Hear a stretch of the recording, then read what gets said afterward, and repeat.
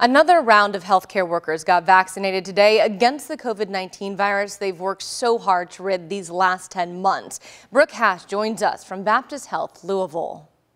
We were there for the first five vaccinations here at Baptist Health Louisville this morning, from doctors and nurses to respiratory therapists. The hospital received 975 doses for the first round of Pfizer shots, with the booster expected to arrive in the next three weeks.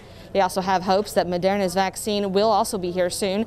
Five of the nine hospitals within the Baptist Health Network from Indiana and Kentucky were selected to receive the initial dose from Corbin, Floyd, and Madisonville to Lexington and right here in Louisville. An emotional morning for the first in line. The minute they called me, I was ecstatic to know that I would be one of the first people to get up here and take this vaccine. So I was very excited. And this vaccine seems like a weight has been lifted off our shoulder because this vaccine offers the extra layer of protection that our frontline healthcare workers um, are going to get. We're told all 975 doses should be given out by next week, just in time for Christmas. A voluntary vaccine up for grabs to any one of the 22,500 employees across the Baptist Health Network, all considered frontline workers. We've all been hearing this is the light at the end of the tunnel, but doctors and nurses here at Baptist Health Louisville say this is just the beginning, and this will not get us back to normal until the majority of our community is on board with these vaccinations.